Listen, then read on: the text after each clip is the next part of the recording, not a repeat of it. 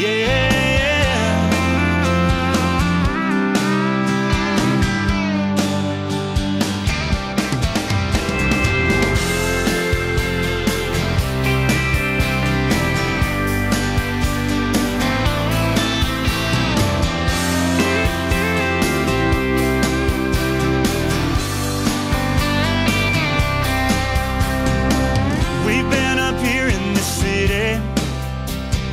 Five gears of grind.